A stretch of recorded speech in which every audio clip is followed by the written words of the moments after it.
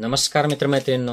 Doctor Paul बर्ग हे नुकतेच expire झाले. नाईन्टीन ट्वेंटी सिक्सला त्यांचा जन्म झालेला होता आणि पंधरा फेब्रुवारीला आत्ताच ते एक्सपायर झाले. तर यांची विशेषता अशी आहे मित्रांनो यांची हे जेनेटिक इंजिनिअरिंगमधलं जे सगळ्यात महत्त्वाचं संशोधन ज्याला म्हणता येईल म्हणजे जीन्स कॉपी पेस्ट करायचे कट पेस्ट करायचे. एका ठिकाणून जीन्स काढायचा जीन्सचा तुकडा आणि तो दुसऱ्या ठिकाणी लावायचा.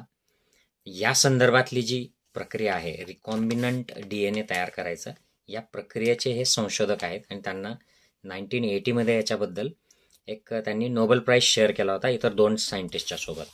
तर या शास्त्रज्ञाची अजून विशेषता अशी आहे की त्यांनी जे संशोधन केलं त्या संशोधनाच्या ते शोधल्या शोधल्या त्यांनी त्याच्यासोबत एक वॉर्निंग देखील इश्यू केली की याचा गैरवापर कसा होईल आणि तो कसा करायला नाही पाहिजे. आणि तिसरी महत्वाची विशेषता यांची अशी की यांनी या संशोधनाचं कुठलंही पेटंट केलं नाही.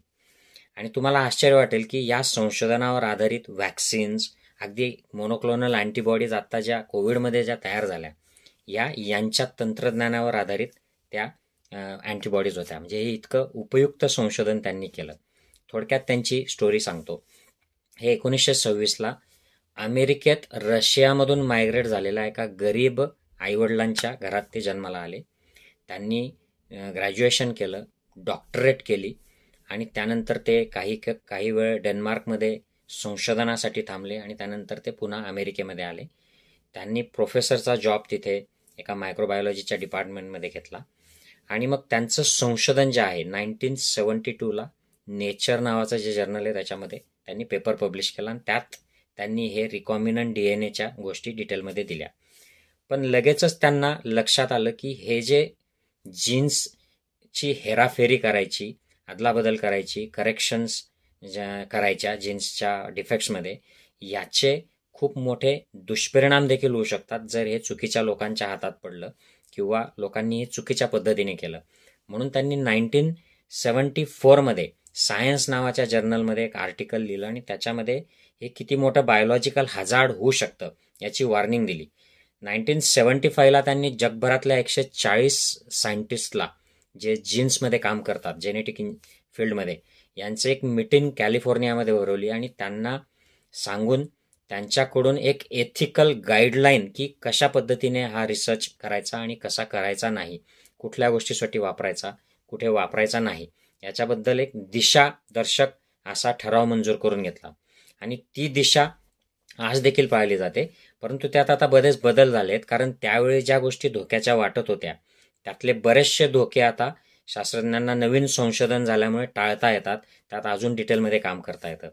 तर या शा या हे जे टेक्निक आहे याचा उपयोग करून जेनेटिकली मॉडिफाईड क्रॉप्स जगभर तयार झाले त्यातून अन्नधान्याची उपलब्धता वाढलेली आहे आणि क्रॉप जे आहेत ते जे लागण होते वेगवेगळ्या जीवजंतूची त्याच्यापासून रेझिस्टंट असे पीक तयार झाल्यामुळे वेगवेगळ्या भागात कृषी क्षेत्रात जे संशोधन होऊन जो विकास होऊ शकलेला आहे त्याला मदत झालेली आहे.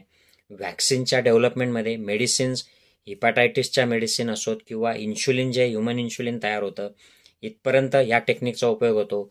व्हॅक्सिन्स आणि अँटीबॉडीज ज्या तयार होतात वेगवेगळ्या आजारांवरच्या याच्यामध्ये हे वापरलं जातं. वेगवेगळे जे जीन्समुळे आजार निर्माण होतात याच्यामध्ये जीनचे जे डिफेक्ट्स असतात त्याच्यावर जेनेटिक इंजिनिअरिंगमध्ये जी ट्रीटमेंट केली जाते यासाठी देखील वापरलं जातं. आता मी पूर्वीच तुम्हाला म्हणलो की यांनी शास्त्रज्ञांना वॉर्निंग दिली. संशोधन केलं. त्याच्याबद्दल त्यांना नाईन्टीन एटीमध्ये नोबेल प्राईज मिळालं. परंतु ते वेळोवेळी याचा गैरवापर करू कसा करायचा नाही आणि कोणी केला तर त्यांना ते प्रिव्हेंट करायसाठी प्रयत्न करत होते. दोन हजार अठरामध्ये जेव्हा चायनामध्ये जेनेटिकली मॉडिफाईड बेबी तयार केलं त्यांनी डिक्लेअर केलं तेव्हा देखील यांनी आक्षेप घेतला होता की तुम्ही हा गैरवापर करता आहात मात्र जिथे जिथे या टेक्निकचे त्यांना फायदे जाणवले. उदाहरणार्थ जीन थेरपी करून जे ज्या फॅमिलीजमध्ये जेनेटिक प्रॉब्लेम्स असतात ते प्रिव्हेंट करण्यासाठी काही स्टेम सेल्सचं जे संशोधन चालतं म्हणजे बाळ जन्म झाल्यानंतर जे प्लासेंटामध्ये जे सेल्स असतात आईच्या गर्भातून बाहेर येणाऱ्या त्याच्यावरचं संशोधन हे जॉर्ज बुशने त्याचं फंडिंग बंद केलं त्यावेळेला ते प्रेसिडेंटच्या विरोधात जाहीर आले होते की तुम्ही धार्मिक धर्मांध शक्तींच्या प्रेशरमध्ये एक चांगलं मानवाच्या उपयोगास येणाऱ्या संशोधनाला फंडिंग बंद करता आहात दिस इज अन अमेरिकन हे अमेरिकेला शोभणारं नाही. हे अमेरिकेच्या ज्या ज्या प्रिन्सिपल्स आहेत त्याला धरून नाही. तर असं वेळोवेळी यांनी याच्या चांगल्या गोष्टींसाठी सपोर्ट केला आणि त्याचा गैरवापराला देखील विरोध केला. तर असा हा सायंटिस्ट आणि या संशोधनाचं पेटंट देखील त्यांनी केलं नाही. किती मोठं संशोधन होतं आहे. याच्या बदल्यात ते बिलिनियर होऊ शकले असते मिलिनियर होऊ शकले असते. परंतु त्यांनी तसं केलं नाही. तेव्हा हा सायंटिस्ट आता वयोमानानुसार ते वृद्ध झाले आणि ते आता नुकतेच एक्सपायर झालेले आहेत. त्यांना खूप खूप शांती लाभो त्यांचं खूप मंगल हो आणि असे सायंटिस्ट असे इन्स्पायरिंग लोक जे आहेत यांच्याविषयी माहिती पसरो असे लोक निर्माण होत आणि तुम्ही देखील या व्हिडिओद्वारे ही माहिती पसरवा. इतरांना शेअर करा. तुमच्या प्लॅटफॉर्म्सवर व्हिडिओ टाका. आणि डॉक्टर पॉल बर्ग यांच्याविषयी माहिती लोकांना होऊ द्यात.